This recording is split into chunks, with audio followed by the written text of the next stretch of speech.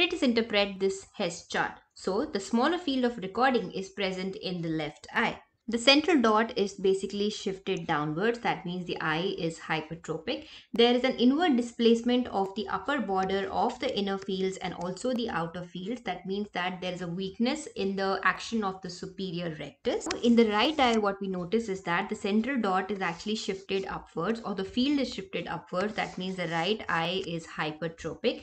Moreover, there is also an upward displacement of the field more in the field of adduction. That means the inferior oblique is actually overacting.